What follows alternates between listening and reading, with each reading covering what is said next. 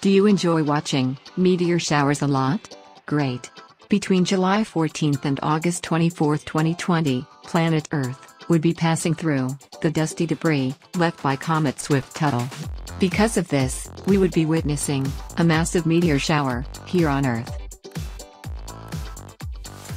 Up to 100 meteors are expected to show up every 60 minutes or so, according to NASA.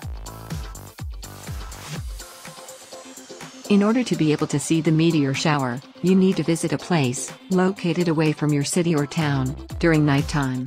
Just pull out your chair, wrap yourself in a blanket, and keep looking at the night sky. You will be able to see the gorgeous meteor shower, even with your naked eyes. Enjoy the celestial event, and make sure you like this video. Click on the NASA link in the description below for further details. Like, share, and subscribe.